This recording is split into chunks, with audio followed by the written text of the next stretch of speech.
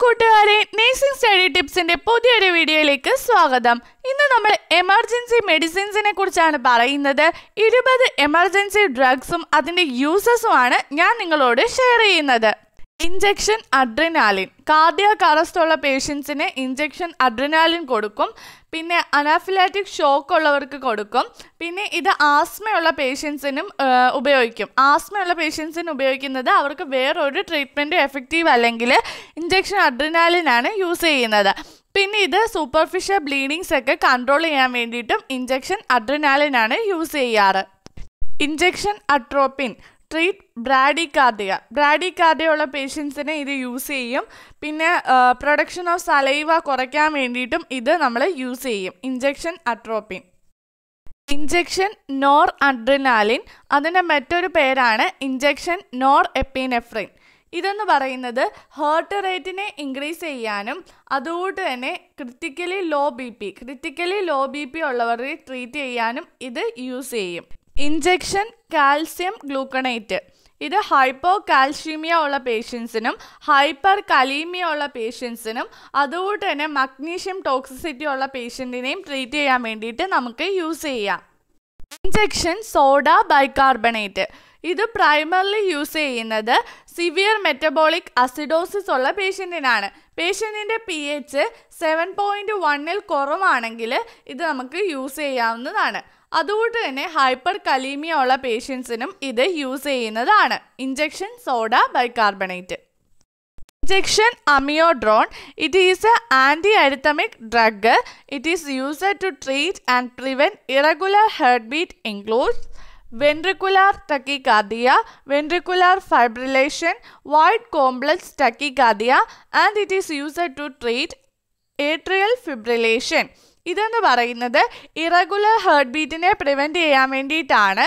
ഇത് ഇതിനകത്ത് ഇൻക്ലൂഡ് ആയിട്ടുള്ളത് വെൻട്രിക്കുലർ ടക്കിക്കാർഡിയയ്ക്ക് ഉപയോഗിക്കാം. Ventricular fibrillation wide complex tachycardia and it is used to atrial fibrillations അടുത്തത് ട്വന്റി ഫൈവ് പെർസെന്റേജ് ഡെക്സ്ട്രോസ് ആണ്.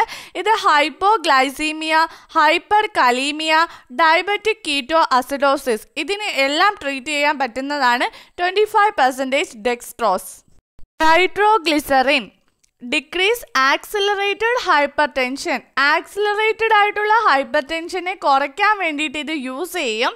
ഇത് also use to decrease chest pain chest പെയിനെ decrease ചെയ്യാൻ വേണ്ടിയിട്ടും ഇത് യൂസ് ചെയ്യും. Injection succinylcholine it is use to treat short time paralysis injection dopamine it acts as stimulant it is used for severe low B P slow heart rate and cardiac arrest severe low B പിക്കും അതുകൊണ്ട് തന്നെ slow heart റേറ്റിലും കാർഡിയാക് അറസ്റ്റിലും ഒക്കെയാണ് ഇത് use ചെയ്യുന്നത്. Injection dobutamine it is treatment for heart failure caused by cardiac surgery septic or cardiogenic shock it is used congestive heart failure to increase cardiac output ഇതെന്ന് പറയുന്നത് heart failure caused by cardiac surgery septic or cardiogenic ഷോക്കിലാണ് ഇത് use ചെയ്യുന്നത്.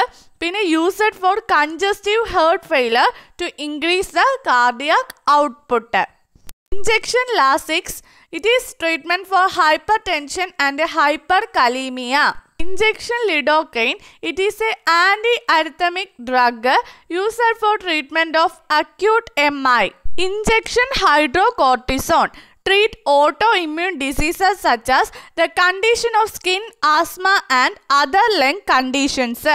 Injection vasopressin critically low BP in adults in shock.